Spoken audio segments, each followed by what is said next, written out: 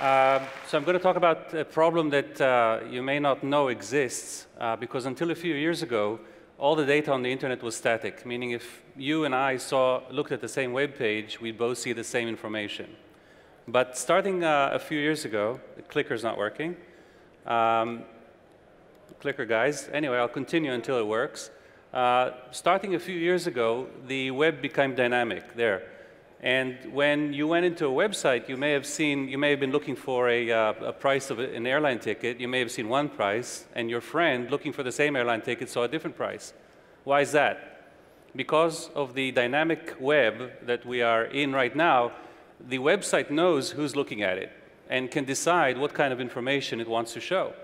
So in a way, it's good because everything is personalized but it also creates new problems that, uh, that we haven't anticipated, problems in, in fraud, in business intelligence. Um, for example, look at uh, shopping sites. Take a large uh, commerce site like Walmart. If Walmart wants to be the lowest price every day, they need to look at all their competitors online, find out what their price is at, and then algorithmically price themselves according to their competitors. But now their competitors know that it's them looking at them so they can block them or they can change the price. So basically, the, the web is becoming more opaque. It's becoming less competitive because competition is, is difficult. It's also becoming more dangerous because uh, let's say that you're a large ad network and you want to make sure you're not serving malicious ads, viruses, trojans, etc. So you are looking, you click every one of these ads as an ad company, and the malicious guys, they see that it's you clicking on the ad, and so they give you a good, uh, a good solid ad. But when it's a consumer clicking on the ad, then he gets a virus. Or uh, let's take one, uh, one, one last case. Let's say that you're a, a big brand like GoPro, and you want to make sure that all of the 10,000 stores online are selling your GoPro, Pro, GoPro product at $399. But when they see that it's you checking them, they give you the right price, and when it's a consumer, they'll show them the wrong price. So there's this new opacity on the internet because of this, the dynamic nature of the web. So a solution that has come up in the past few years is let's go through like an AWS. Let's not show them that it's us clicking. You know, if we're Walmart, let's go through servers. But that's uh, very easily identifiable. So the bad guys know, he doesn't know that it's Walmart looking at it, but it knows that somebody is hiding and looking at it, and therefore will still act differently than it would if, if it was a consumer. So Luminati is, uh, uh, has basically developed a huge peer-to-peer -peer network of consumer devices, phones, laptops, PCs, of 30 million nodes in every city around the world. And our customers, uh, we have thousands of customers that are using our network to basically look at the internet the way it looks from every different angle. And this really solves the problem because now if you're an ad network and you want to look at advertisers, you basically click through our network, and you look to be a consumer living in Romania or uh, Berlin or wherever you want to be uh, looking like. And you actually see what consumers are seeing, so you can detect fraud.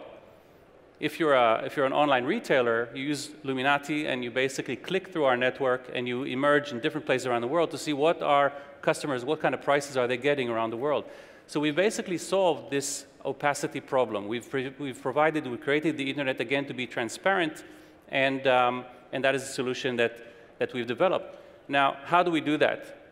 We basically built this SDK of, the, of, the, of our peer-to-peer -peer technology that we provide to game developers, uh, app developers, et cetera, and they use that instead of advertising for monetization. So they basically offer the game player the option to say, do you want to uh, pay money for the game, or do you want to watch advertisements, or do you want to be part of this peer-to-peer -peer network? And we'll only use that device for like 20 seconds a day as part of our network, and only when it's plugged into the electricity and on Wi-Fi.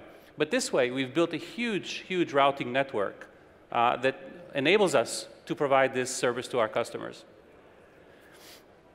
So um, basically, we have, we have millions of IPs. It's every city in the world, and we can provide a view from laptops, from phones, from any kind of, any kind of network the business has been growing at a uh, tremendous uh, pace since we uh, started about three and a half years ago uh, with uh, a whole lot of blue chip customers. And recently we were acquired by, uh, or EMK Capital has acquired a majority stake in our company, EMK from uh, here from London, and uh, we continue to, uh, to grow at even faster rate now.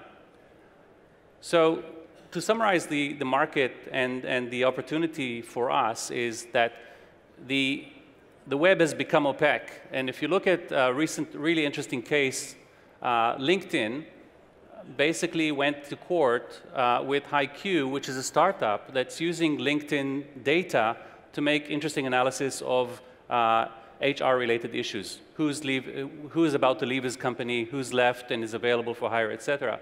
And so they had this case where HiQ was scraping LinkedIn information, and uh, LinkedIn asked them to stop because it's against the terms of service.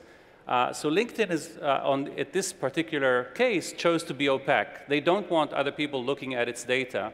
And HiQ chose to be trans transparent, basically to use that uh, information. And uh, the court ruled that HiQ is, uh, is right about this, and it's okay to look at publicly information, public information and use that. There's companies uh, that provide the ability to be opaque and to know who's looking at your website and to block information or, or to modify it.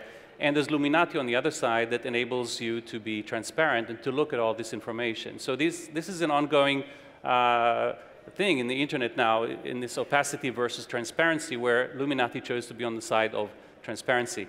Then you have all these online retailers who are basically on both sides. Because on one hand, they try to make their website opaque and not let the competitors see what their pricing is, and uh, still be able to look at competition uh, to understand how to price differentially.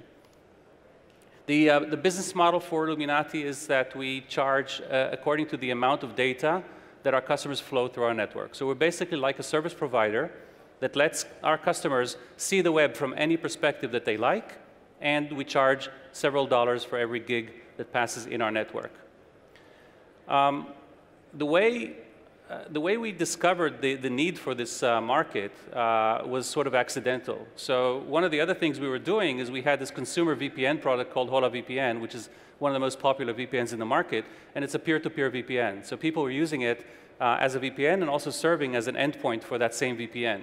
And this created a huge peer-to-peer -peer network.